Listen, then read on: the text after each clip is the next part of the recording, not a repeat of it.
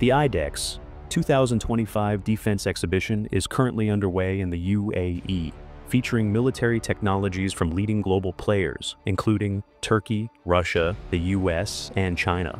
Pakistan's Global Industrial and Defense Solutions, GIDS, is also participating, showcasing several advanced systems, such as the Burq air-to-ground munition, the Taimur air-launched cruise missile, and the Shahpar 3 HALE UCAV, a key highlight of their display. GIDS has officially pitched the Shahpar 3 for the international market. First unveiled at IDEAS 2024, its maiden flight was reportedly scheduled for December 2024, though no confirmation has been provided.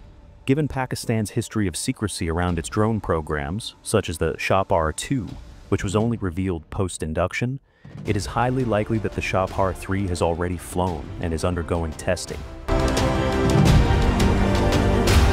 This drone falls within the MALE-to-HALE UCAV category and is being compared to the MQ-9 Reaper in terms of capability.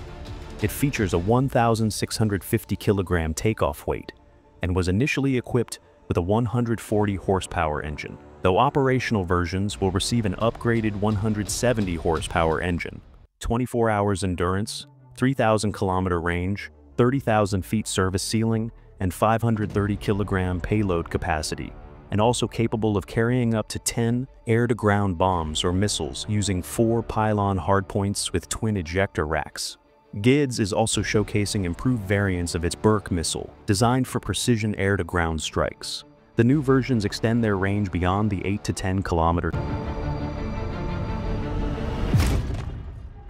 China's J-36, a sixth-generation stealth bomber in action. A new image of China's J-36 has surfaced, suggesting it recently completed another flight test. The first flight of two sixth-generation Chinese aircraft reportedly took place on December 26, 2024, and this latest sighting could indicate a second public demonstration.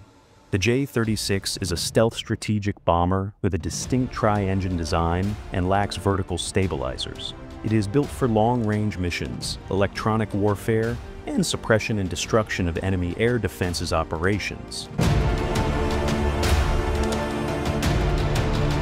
China is prioritizing next-generation warfare, where stealth alone is insufficient due to advances in anti-stealth radars and jamming technologies. By leveraging its expertise in electronic warfare, China aims to stay ahead in modern air combat. Interestingly, U.S. analysts previously estimated that China would unveil its sixth-generation fighter between 2028 and 2030. But China has accomplished this nearly four years ahead of schedule.